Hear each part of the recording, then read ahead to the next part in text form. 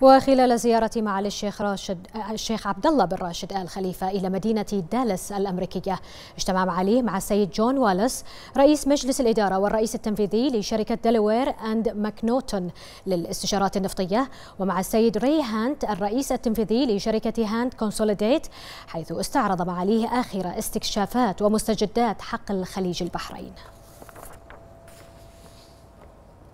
كما اجتمع معاليه مع مسؤولين من الغرفة التجارية الثنائية الأمريكية حيث أعرب معاليه عن اعتزاز مملكة البحرين بالشراكة الاستراتيجية التاريخية مع الولايات المتحدة الأمريكية في العديد من المجالات ومن ضمنها المجالات الاقتصادية والتجارية وفي مقدمتها اتفاقية التجارة الحرة وإنشاء منطقة التجارة الحرة الأمريكية في مملكة البحرين حيث تم خلال الاجتماع مناقشة فرص التعاون التجاري للشركات الأمريكية في مختلف القطاعات الاقتصادية.